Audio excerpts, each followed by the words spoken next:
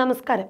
റോഡിൽ കുറച്ച് കറൻസി നോട്ടുകൾ കിടക്കുന്നത് കാണുമ്പോൾ വണ്ടിയിൽ നിന്നും ഇറങ്ങി ആ കറൻസി നോട്ടുകൾ വാരിയെടുക്കാൻ പോകുന്നവർ ഒന്ന് അറിയുക.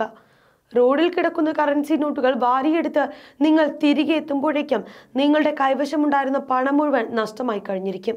അതെ ഉടമസ്ഥനില്ലാതെ കിടക്കുന്ന ആ നോട്ടുകൾ നിങ്ങൾക്കുള്ള കെണിയാണ് എന്ന് ചുരുക്കം. നിർത്തിയിടപ്പെടുന്ന കാറിന്റെ ഡ്രൈവർ സീറ്റിന്റെ ഭാഗത്തായി പത്ത് ഇരുപത് അൻപത് നൂറ് എന്നീ രൂപയുടെ കറൻസി നോട്ടുകൾ വിതറിയിടും. അതിന് പിന്നാലെ ഡ്രൈവർ സീറ്റിലുള്ളവരെ ഗ്ലാസ്സിൽ തട്ടി വിളിക്കും. പിന്നാലെ റോഡിൽ കിടക്കുന്ന പണം നിങ്ങളുടേതാണോ എന്ന് കൂടെ ചോദിക്കും. സ്വാഭാവികമായും കാറിനുള്ളിൽ നിന്നും ഡ്രൈവർ സീറ്റിലുള്ളയാൾ പുറത്തിറങ്ങും. പുറത്തെത്തി കറൻസി നോട്ടുകൾ പെറുക്കിയെടുത്ത് തിരിച്ച് കാറിൽ എത്തുമ്പോഴേക്കും കയ്യിലെ പണം നഷ്ടമായിട്ടുണ്ടാകും. എന്തെന്നാൽ കാറിൽ നിന്നും ആൾ പുറത്തിറങ്ങി നോട്ടുകൾ പെറുക്കിയെടുക്കുമ്പോഴേക്കും ഈ സമയം നോക്കി മറ്റൊരു സംഘം കാറിൽ നിന്നും പണമടങ്ങുന്ന ബാഗ് കൈവശപ്പെടുത്തിയിരിക്കും. ഇതാണ് റോഡിൽ കറൻസി നോട്ടുകൾ വിതറി കവർച്ച നടത്തുന്നവരുടെ രീതി.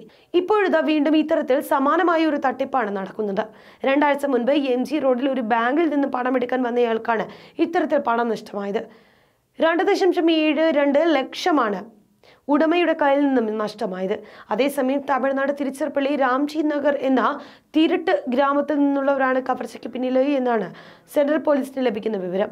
ബാങ്കുകൾ വ്യാപാര സ്ഥാപനങ്ങൾ ധനകാര്യ സ്ഥാപനങ്ങൾ എന്നിവിടങ്ങളിൽ എത്തുന്നവരെയാണ് ഇത്തരം മോഷണ സംഘങ്ങൾ ലക്ഷ്യമിടുന്നത്. അതേസമയം കൊച്ചിയിൽ നേരത്തെയും ഇതുപോലെയുള്ള കവർച്ചകൾ നടന്നിട്ടുണ്ട്. കഴിഞ്ഞ വർഷം ഫെബ്രുവരിയിൽ മറൈൻ ഡ്രൈവ് മേനകയിലാണ് സമാനമായ സംഭവം നടന്നത്.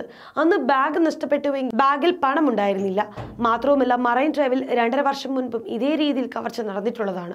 തുടർന്ന് ഈ കേസിൽ ഒരു പ്രതിയെ സെൻട്രൽ പോലീസ് അറസ്റ്റും ചെയ്തിരുന്നു. ഇന്ത്യയിൽ പല ഭാഗത്തും തിരുട്ട് ഗ്രാമത്തിൽ നിന്നുള്ളവർ ഇത്തരത്തിൽ സമാനമായ കവർച്ചകൾ നടത്തിവരികയാണ്.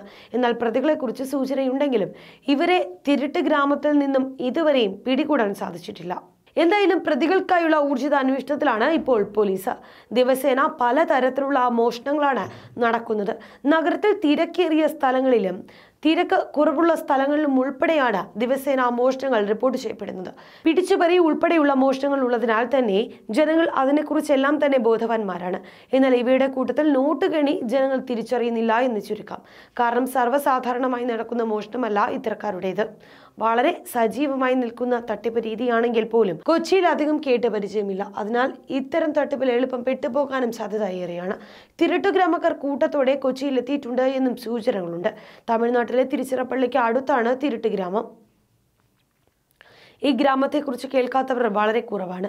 വളരെ കൃത്യമായ പ്ലാനിങ്ങോടെയും ഒരു ഗ്രാമത്തിന്റെ മുഴുവൻ പിന്തുണയോടെയും മോഷണം നടത്തുന്നവരാണ് ഈ നാട്ടിലുള്ളവർ. എന്നാൽ മോഷണത്തിൽ തിരുട്ട് ഗ്രാമത്തിലുള്ളവർ ജയിലിലായാലും അവരുടെ ബന്ധുക്കൾ പട്ടിണിയിലാകില്ല എന്നതാണ് തിരുട്ട് ഗ്രാമത്തിലെ പ്രത്യേകത.